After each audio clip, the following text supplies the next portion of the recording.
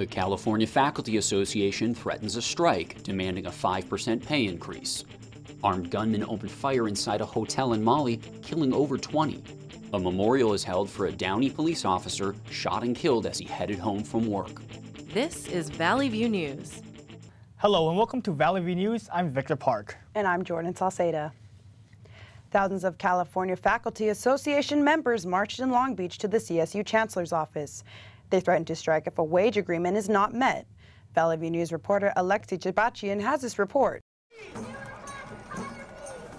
California State University faculty, students, and union members across all 23 CSU campuses protested and marched in front of CSU Chancellor Timothy White's office, demanding a 5% wage increase. The protest comes after a 94% vote was casted by members of the California Faculty Association, authorizing to strike if the union is unable to reach an agreement. The protest followed a Board of Trustees meeting where they discussed wage compensation.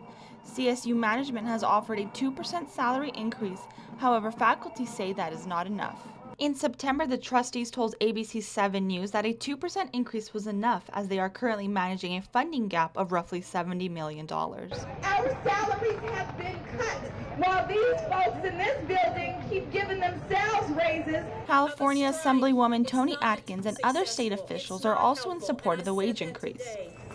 These are the facts. CSU has more money and CSU will get more money. My colleagues and I know that you are working below 2004 salary levels, and that's not right.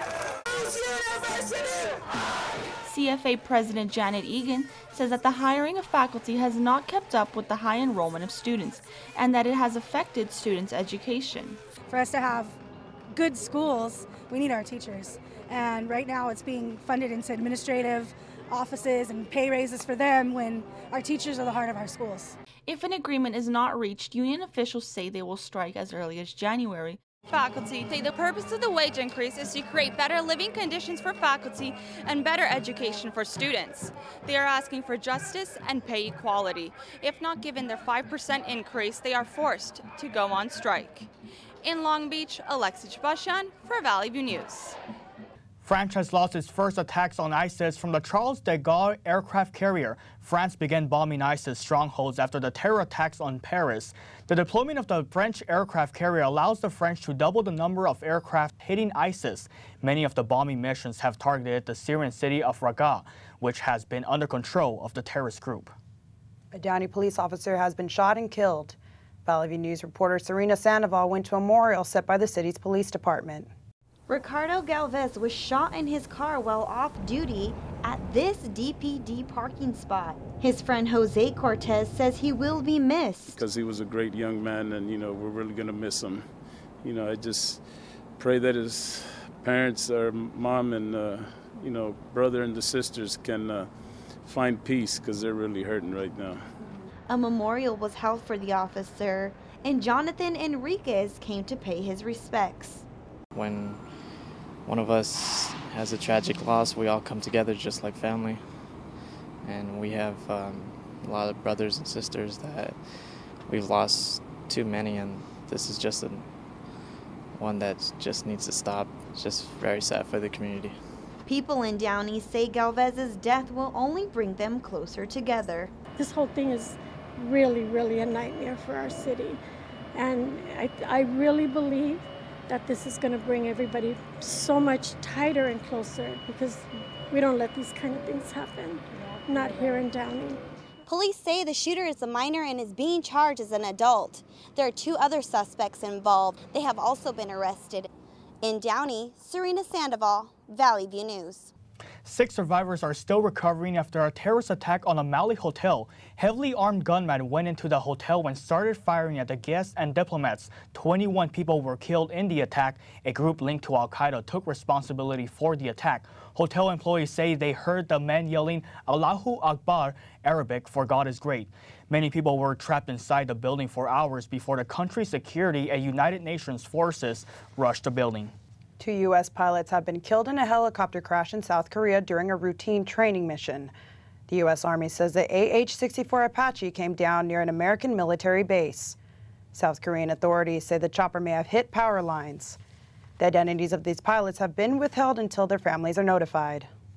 One of the men responsible for the largest mass kidnappings in the U.S. history could be freed on parole. Fred Woods was originally given 27 life sentences without the possibility of parole. He had kidnapped 26 children and their bus driver in 1976. He buried them alive in Chowchilla, California. The bus driver helped some of the children escape to go for help. They had been trapped for 16 hours. Woods is the last kidnapper remaining in prison. Brothers Richard and James Schoenfeld were freed on parole in 2013 and earlier this year. The board refused to release Woods last week, and his next chance at the parole may not come for three years. CNN reports the kidnappers were originally seeking a $5 million ransom. A nonprofit in Northridge is working to keep the children of homeless families in school and not out on the streets. Valley View's reporter Noemi Barajas takes us to that shelter that puts education first. These children are enjoying some free time from their homework, but at the end of the day, they don't have a place to call home. The San Fernando Valley Rescue Mission in Northridge helps homeless children stay in school. One of the mothers at the shelter has been there for a month and says she has not seen her children's grades drop. But I just think um, socially they may have changed and interacting with the other kids, and you know, that may have changed somewhat. Having the stability there helps put the pieces together towards their education. Although adjusting to a new environment will take time. The biggest challenges that uh, the adolescent tends, tends to have, uh, there's many of them, but the ones that they tend to have is basically not trusting uh, people. Uh, secondly, there's uh, an issue of uh, where to go, who to trust, who to talk to about their being, um, you know, homeless. Los Angeles Unified School District estimates that there are three to 5,000 homeless children every day, but it is through shelters like the San Fernando Valley Rescue Mission that help families get stability and help their children enroll in school. Education is one of the things we focus on here. We have five outcomes that we focus on, and one of them is education. Wade says some of the kids have actually raised their grades because of the support they get at the shelter. An LAUSD employee goes once a week to help the children. We have kids who haven't been in school for a few months sometimes, up to six months, and he helps them enroll in school. Or it's kids who just moved into the neighborhood, so he helps them enroll in a local school. Make sure they have school uniforms, their books, backpacks, everything that they need for school. Education for homeless children is not out of their reach. With or without a home, and with the right resources, any child can get an education. In Northridge, Noemi Barajas, Valley View News.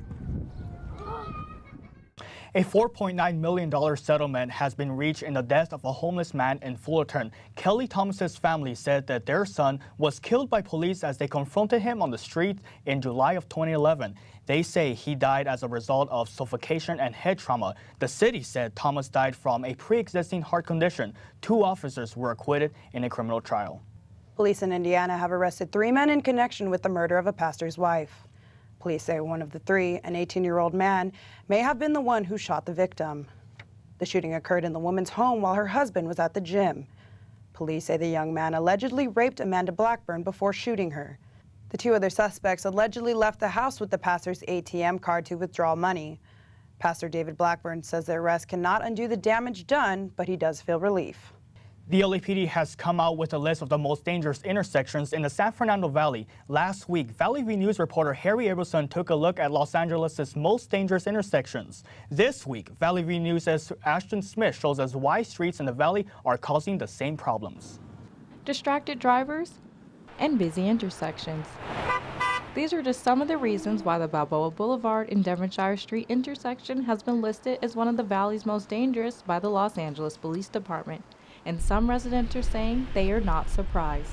There's been a lot of accidents all the time, and I live really close by, like um, two blocks away, and I'm always hearing the ambulances and stuff, and there's been um, car crashes, and yeah, it's been really crazy lately. The LAPD was unavailable for comment, but in a press release on the LAPD website, they say there will be a task force at these intersections with the goal of reducing the number of traffic collisions and fatalities in these areas.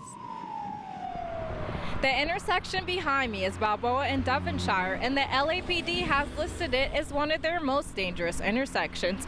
Now, over here to the left, I have Valley Academy High School, And it's only one block away from the intersection, and this is concerning many parents and students. I'm always telling my kids that you need to, even though you look and see that the light is green and you have the right of way or the hand is up and you have the right of way, you need to pay attention to everything that's going on around you. And the parents, that when they're in a hurry dropping their kids off and picking their kids up, they drive crazy.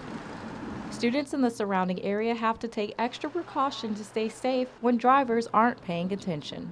A lot of kids like are close to getting hit because um, no one really pays attention to when they're driving and they just they're in a rush to get to places and they don't really like care about people who are walking and pedestrians. So if you find yourself at one of these intersections, be alert and pay attention. In the San Fernando Valley, Ashton Smith, Valley View News. The effects of El Nino are expected to vary widely around the world. That's what one researcher says. The University of Colorado's Michael Glantz says a severe lack of rain will likely continue in Ethiopia. Devastating floods and torrential rains are predicted for Peru. Californians are hoping for a rainfall well above normal to help ease a drought that's gone on for several years. El Nino occurs when water in the eastern Pacific Ocean becomes unusually warm. It has happened periodically for thousands of years, but scientists have only recently studied its effects on global weather. Well, some can argue that taxis are a thing of the past. Mobile apps like Uber and Lyft have become successful but are not always regulated in airports. Valley View News reporter Amy Martinez tells us how the Burbank Airport is working on new regulations. Rideshare companies like Uber and Lyft have become popular because they are convenient and affordable. However, some airports across the U.S., including LAX, have prohibited these companies from picking up passengers. Airport officials say it slows down traffic and creates a safety problem for people. At Bob Hope Airport in Burbank, the complication has gotten out of hand. What's currently happening is they're pulling into the parking structure, but they're obstructing traffic. They're not pulling into a spot, they're pulling over, they're, they're stopping in the middle of the drive through, and it's creating problems. The airport authority has introduced a three year contract which states that drivers must obey all regulations in order to continue their services in the airports. This includes paying the $3 fee to park in the structure. Airport officials say rideshare companies will have these parking spots behind me on reserve to pick up passengers. They say it will free up some space in the loading area and avoid any accidents. But drivers like Art say they disagree. I think for the most part, we're more careful and better drivers than a lot of the people that park or double park or stop in the middle of the street and let people off. Bergdorf says in addition to safety hazards, the airport is losing out on parking revenue, one of its largest revenue generators. The new agreement will regulate and equalize the way transportation services operate and will also help the airport's budget.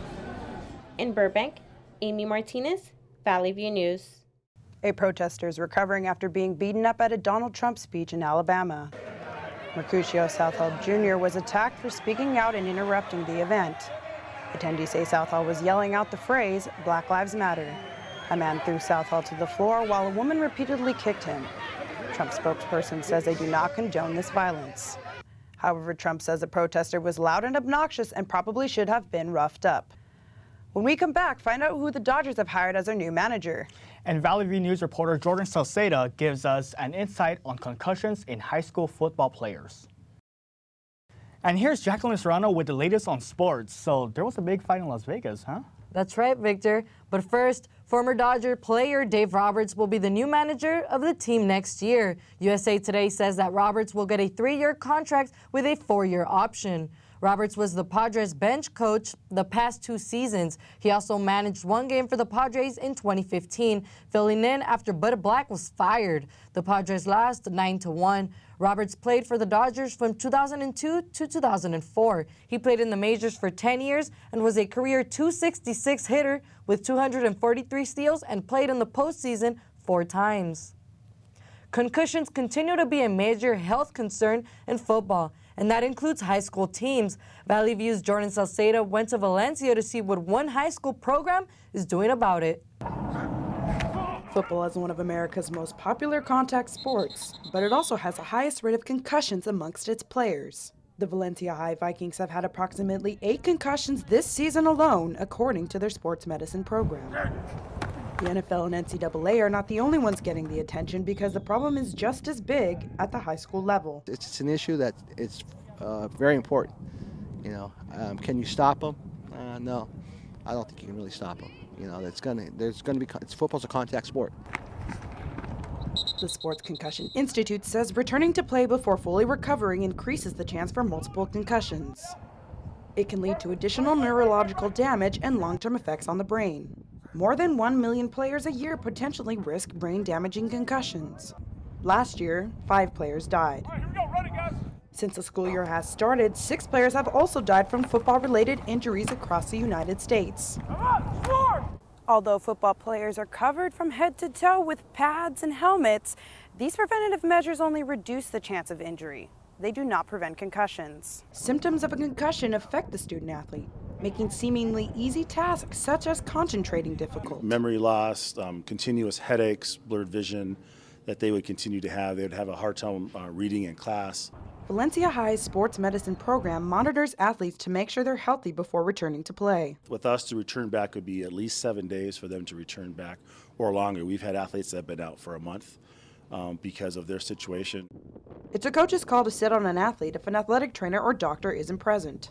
We'll have some ourselves look at them, and if we feel it's it's necessary, we'll have sports med program look at them, and then I feel that we have the parents involved also, so they'll have to know if, if something's going on with the, with the student athlete. The motto for coaches, when in doubt, sit them out. In Valencia, Jordan Salceda, Valley View News. The Golden State Warriors have started their season with 15 wins in a row. This ties an NBA record with the 93-94 Rockets and the 48-49 Capitols for best season start. The Warriors tied the record when they beat the Denver Nuggets 118 to 105. Stephen Curry had a big third quarter, scoring 10 out of his 19 points. He also had 7 assists, 4 rebounds, and 3 steals in 27 minutes. The Warriors will not be looking to set another NBA record for most consecutive wins in a season. The record currently belongs to the 71-72 Lakers. Mexico's Saul Canelo Alvarez has defeated Puerto Rico's Miguel Cotto to claim the middleweight title. Alvarez won by a unanimous decision at the Mandalay Bay in Las Vegas.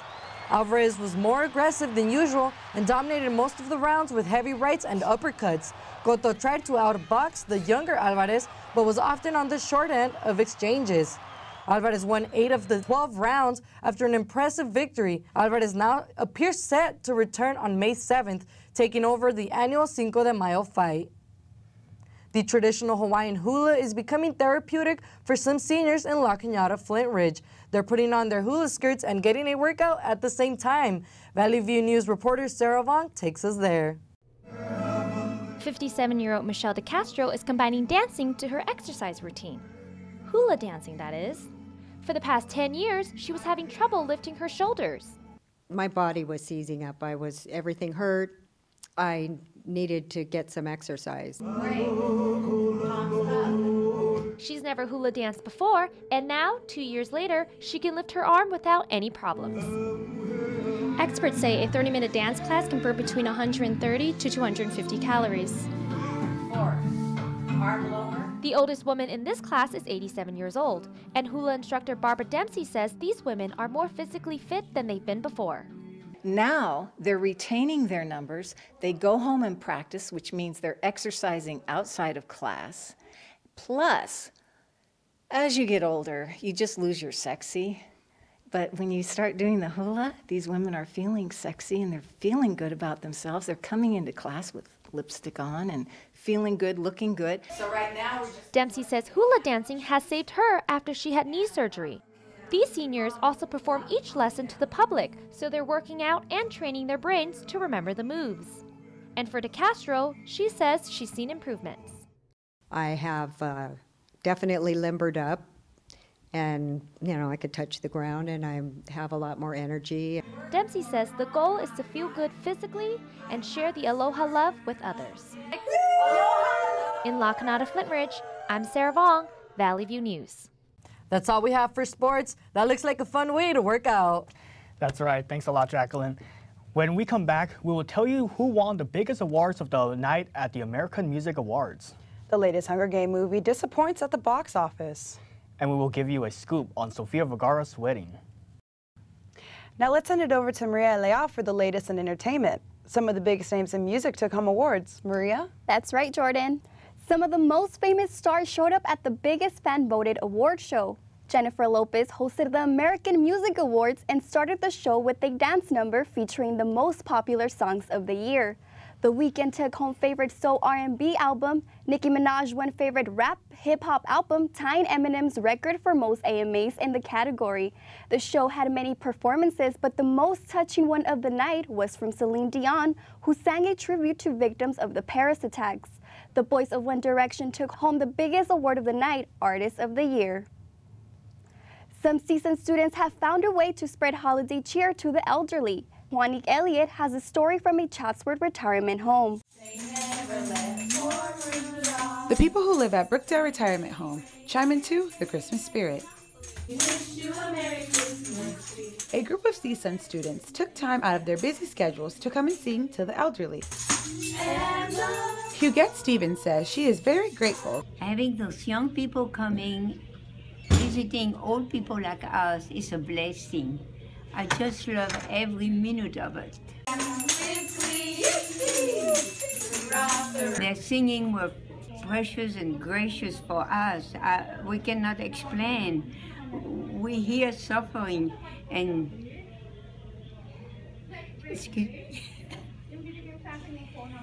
and having young people coming to us. What do you think? We just love them. Pay respect to the many veterans in the room, the students sang the Star Spangled Banner.